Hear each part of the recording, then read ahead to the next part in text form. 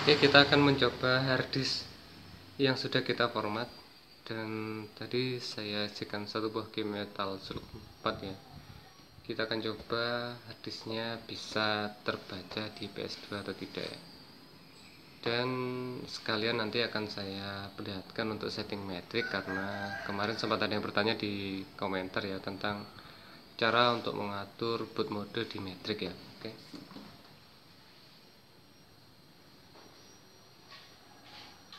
Kita pasangkan dulu habisnya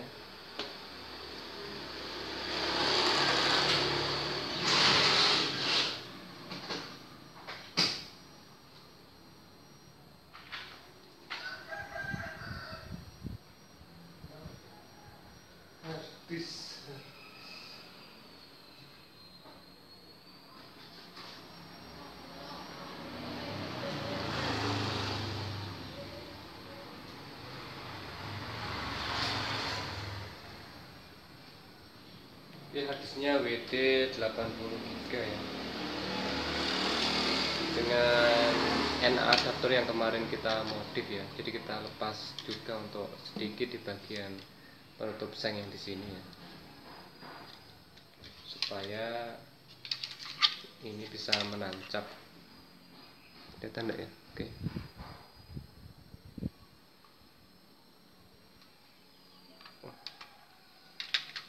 Kelihatan saya coba pasangkan terbalik karena tidak kelihatan.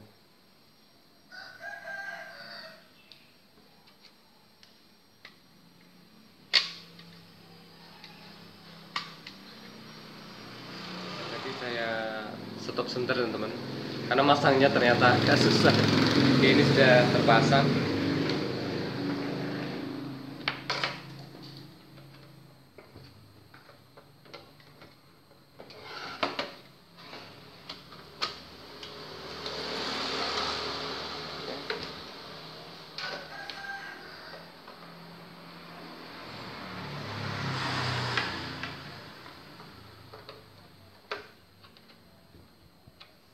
kelihatan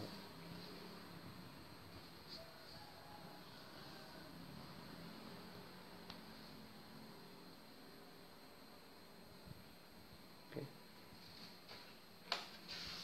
nyala merah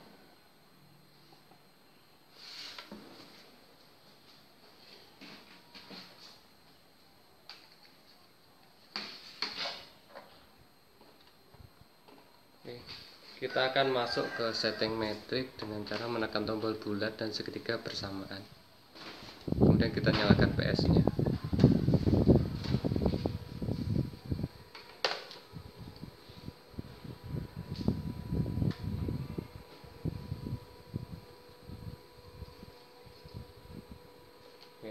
ini adalah settingan metrik dan teman-teman bisa perhatikan di bagian yang ini.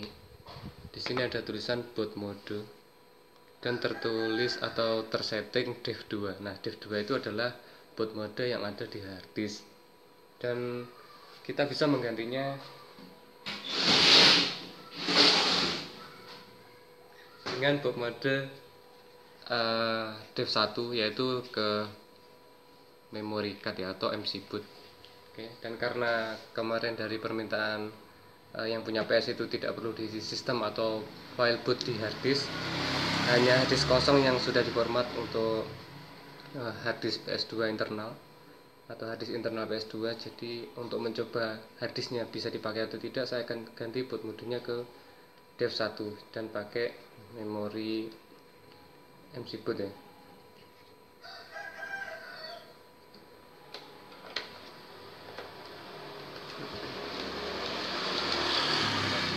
Oke, dan di sini ada beberapa settingan. Kita mulai dari dev 2, harddisk, kemudian DV DV ini mungkin drive optik ya. Kemudian auto, biasanya auto juga optik.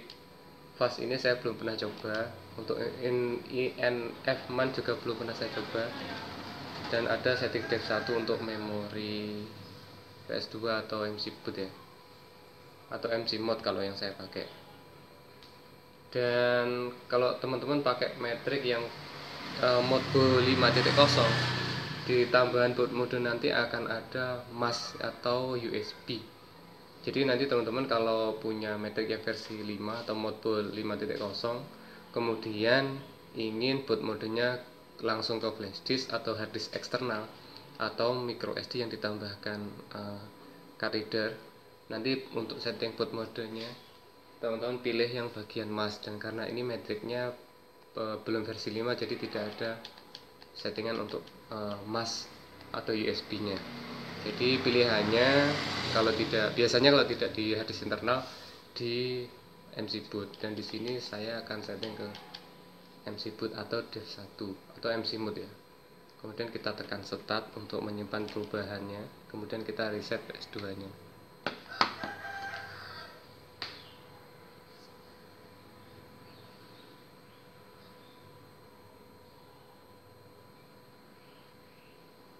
Oke, dan untuk memori saya ini e, terbaca USB game ya. Ini adalah memori yang biasanya saya pakai e, di PS2 SIM saya. Dan karena OPL juga mendukung harddisk, kita akan setting ke mode harddisk. Kita masuk ke pengaturan, ke setting, dan di sini ada passwordnya. Saya buka dulu passwordnya ya. Saya tutup sebentar ya teman-teman.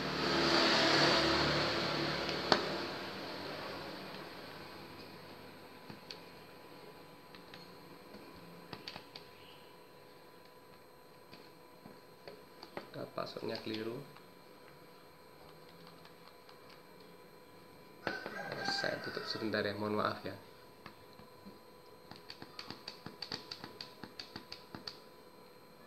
Oke. Dan kalau nanti OPL teman-teman di password akan tampilan uh, untuk memasukkan password yang pertama muncul. Kalau passwordnya di off kan nanti akan bisa langsung masuk ke menu setting OPL di banyak setting ini saya akan aktifkan untuk mode harddisknya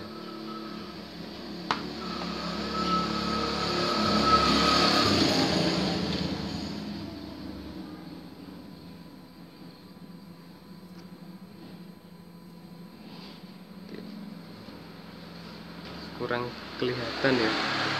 Saya akan majukan kameranya dulu karena settingnya tidak terlihat. Nah oke okay, ini. Oke okay, untuk yang atas sendiri USB kemudian HDD kita auto. Oke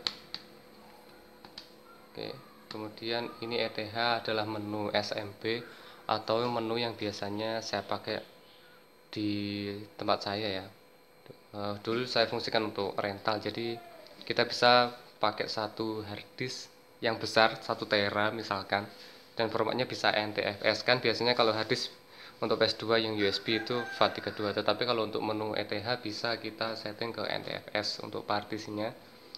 Dan dalam satu harddisk nanti bisa diakses oleh banyak PS jadi satu harddisk untuk semua PS oke dan ini kita off kan karena uh, settingnya ada di PS2 tebal ini ya.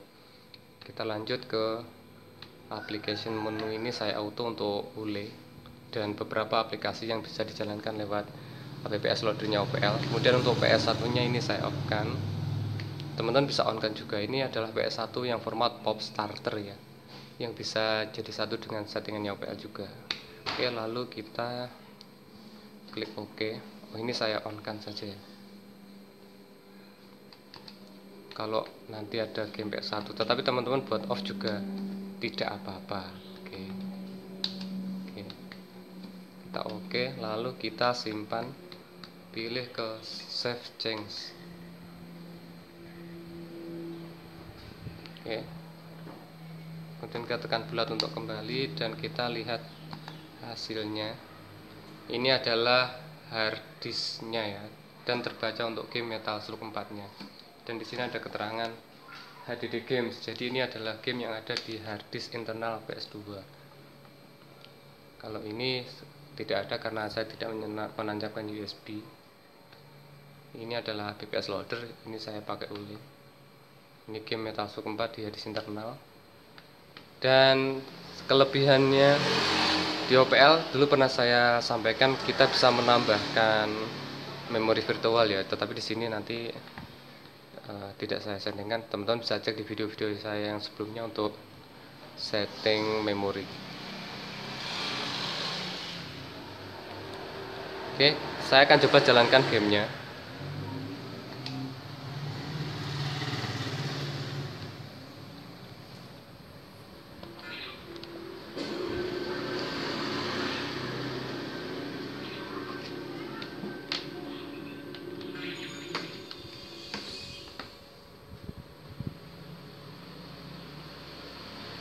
Bagi teman-teman yang belum subscribe bisa subscribe channel saya untuk mendapatkan video-video terbaru dari channel saya.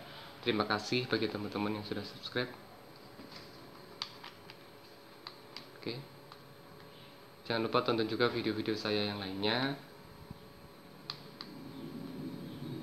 Terima kasih semoga bisa jadi bahan referensi. Video ini bisa jadi bahan referensi. Sampai jumpa di video-video saya selanjutnya